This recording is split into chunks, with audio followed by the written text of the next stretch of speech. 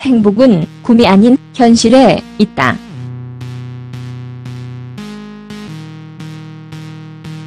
행복은 꿈이 아닌 현실에 있다. 행복을 얻기 위해서 힘든 시기를 거쳐야만 할지도 모른다. 그렇지만 그런 힘든 시기가 있기 때문에 우리가 달성한 것이 진정한 가치를 발하게 된다. 행복은 꿈이 아닌 현실에서 발견된다. 꿈은 중요하다. 꿈은 우리에게 희망을 불러 일으키며 행복을 선물해준다. 그러나 우리가 행복이 지속되기를 원한다면 시선을 현실로 돌려야만 한다. 우리 꿈의 대부분은 꿈으로 남아있다. 실현되지 않을 것이라는 생각이 존재한다. 우리가 꿈에 대해서 충분한 생각을 하지 않았기 때문일 것이다. 우리를 끌어당기는 허구의 순간에 신뢰를 가지고 이끌려 갈지도 모른다. 현실을 계산해야만 한다. 아마 모순처럼 들릴지도 모른다. 꿈을 꾸는 것은 단순한 생각과 현실로 남아있으며 이 두 가지는 서로 매우 다르다. 핵심은 둘 사이의 균형을 찾는 것이다. 먼저 현실을 직시하도록 도움을 주는 몇 가지 핵심 사항을 인지하고 있어야 한다. 당신이 꿈꾸는 일을 성취하는 것이 가능한가? 깨닫지 못한 채 우리는 종종 불가능한 현실에 도달하기를 원한다.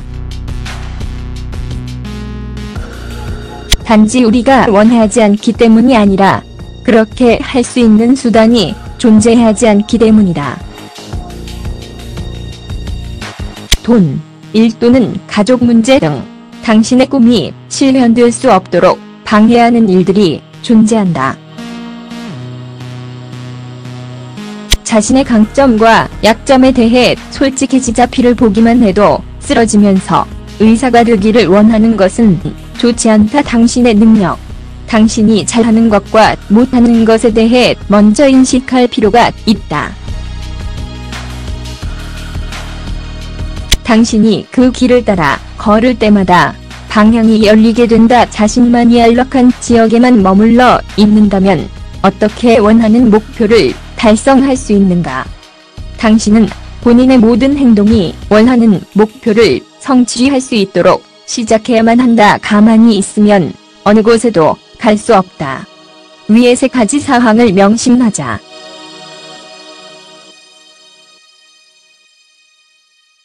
원하는 목표를 성취하기 위한 성공의 근본이다. 특히 가장 중요한 마지막 사항을 명심해야 한다. 그 자리에 머물러 있지 말자는 것.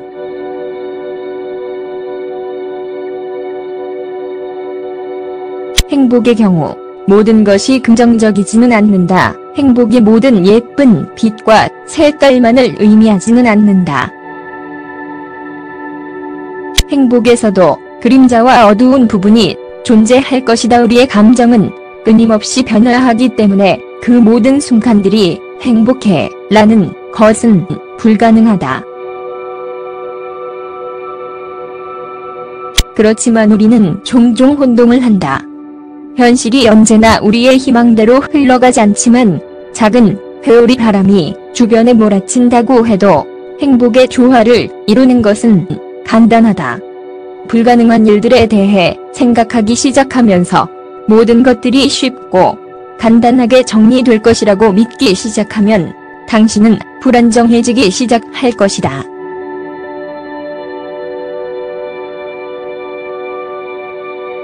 그러나 당신이 들린 것이다.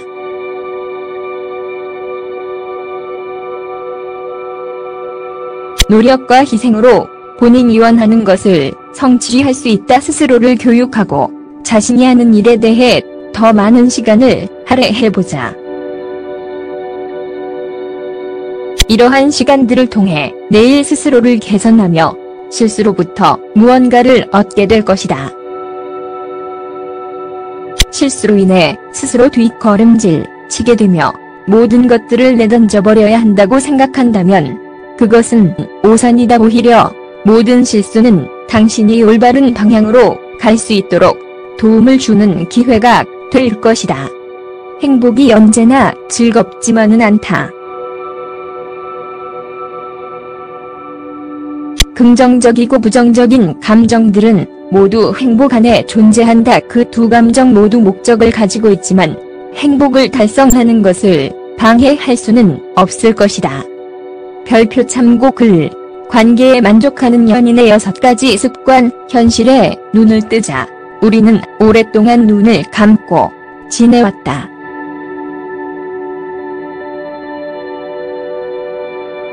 우리는 실패가 패배를 의미한다고 믿었지만 눈을 뜬다면 지금껏 잘못된 생각을 가지고 지내왔다는 것을 깨닫게 될 것이다.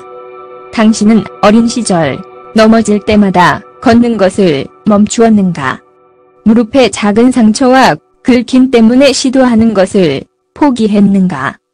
당신이 아이였을 때 지금보다 훨씬 더 많은 끈기를 가지고 있었을 것이다.